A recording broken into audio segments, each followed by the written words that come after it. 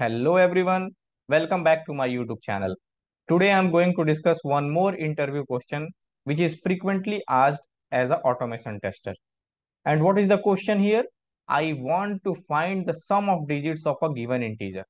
Suppose a number which is 6789, I want to find the digit the, the sum of digits. Here the digits are what? 6, 7, 8 and 9 I will try to find the sum of all digits. To, to sum all the digits, we must have a logic and that logic we will discuss. First of all, understand the logic itself. It would, it would consist two logics, I would say. First would be n percentile 10, which would give remainder, and n slash 10, which would give quotient, which I have already discussed in one of my lecture, which was reverse a question reverse a number, question number 4. Even I will paste the link of this video itself in the present video. So what was the logic itself? If you will divide any number using percentile, you will get the remainder. What does it mean? Suppose if you divide 57 using percentile 10, what you would get? You would get 7 as a remainder, which is the last digit. You got the last digit? Again, if you will divide n by 10, means n slash 10, you will get 57 slash 10, you would get 5, 5 as a quotient. So only these two logics are required to solve our purpose. And one more logic will be required. That, that is an easy logic, which is sum equal to sum plus any condition. Whatever condition you want to give, you can give where you will use sum equal to 0 and you will satisfy your logic, I would say. So let us begin. So now we will switch back to the coding part itself. So, so what we would start as a, I will give int n number equal to something whatever you want, 6, 7, 8, 9 you have given. And we will start the logic. And what is the logic? We, we require to have the each digits present in the number itself. And i already told that by by dividing you uh, by using percentile 10 you will get the the remainder itself. So we will use that logic. And for that logic itself we will require while loop. And what would be the condition? I will tell you later. Only i will give while. And here inside that i will try to have the logic whichever i have already dis discussed that is n percentile 10 so i will use a, a variable remainder equal to number percentile 10 semicolon. It would give me remainder and as we have used remainder we have to initialize it means declare it i would say rather i would say.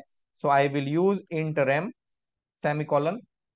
Again what i need to do I need to divide that number using slash. So I will divide that number, number divided by slash. It would give the quotient and I will give it as num equal to num divided by 10. Again, in between, I would have a condition to get the sum of all digits. And to get the sum of all digits, what, what I require? I require a variable sum, int sum equal to 0 I will give in, in the initial point itself and I would try to give a condition. So what should be the condition? Sum equal to sum plus condition as I have already mentioned. I will give sum equal to sum plus condition. I'm using that. So what should be the condition here? I want to have the sum of all digits. And sum of all digits is what? Each digit each digit means here what I need to do? I need to sum 6 plus 7 plus 8 plus 9. So it would give my output. So what I need to have? I need to have this digit. So if you will try to divide that 6, A1, 6, 7, 8, 9 percentile 10, what would you get as a remainder? You will you would get 9 as a remainder. So instead of this condition, you can use rem. So I will just replace condition with rem, which is remainder. and why I have given num equal to num slash 10, num slash 10, why? Why I have given? Because whenever you will divide this 6, 7, 8, 9 by 10, it would give the quotient. And what is the quotient? Let us, let us see 6, 7, 8, 9 slash 10. It would give me the quotient as 6, 7, 8. So in this step itself, it the number became 6, 7, 8 and why we are doing this step? We are trying to do this step because we want at last to at last this number should become 0 because that would satisfy our logic. And from here you understood that here the condition for while loop would be n should be greater than 0. So from our discussion itself, we got the condition. What should be the condition? So, so I guess n greater than 0 whenever n become whenever number become 0 at that time itself it the while loop will be completed and our output would be be means would, uh, would be resulted i would say yeah so here i would write number greater than equal to greater than 0 and i would try to print the the sum itself because i want to have the sum of all digits sum of all digits i i would rather say so instead of this hello world, I would write sum of sum of digits sum of digits and here I will give plus and remove this extra quote and I would write sum because I want the output as sum. So just try to print it and check whether you are getting the correct output or not. And if you will get any error, try to resolve it.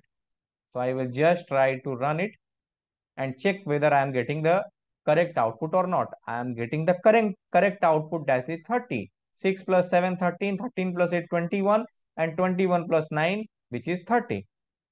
So again in this question itself I would try to to tell you one logic that was re related to reverse a number question 4 you can also see that.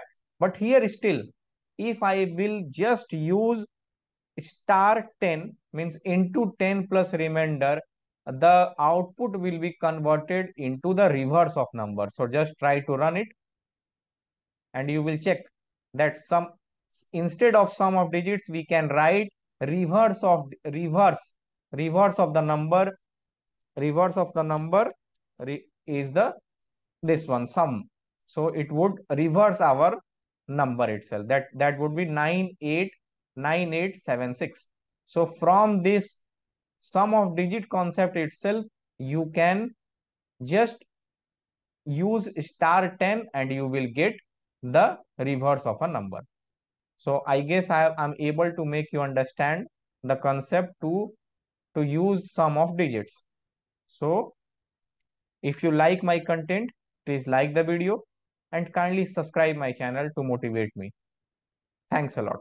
Bye-bye.